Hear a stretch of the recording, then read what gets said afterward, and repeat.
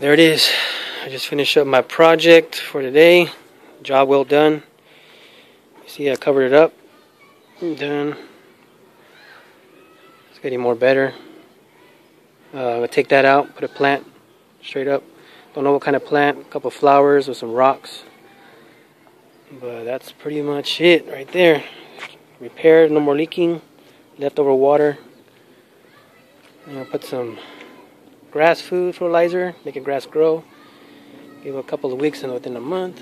Here's the front yard. Bam. That's the front yard. Still gotta paint this up, make it look nice and brand new. I mean, there it is. Almost done.